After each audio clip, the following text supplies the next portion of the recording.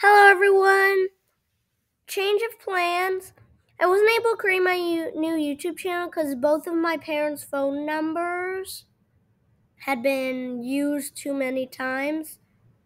Google, please fix this if you're watching this video because no one likes it when it has been used too many it says it's been used too many times. So please fix this. That's all from me now. Bye.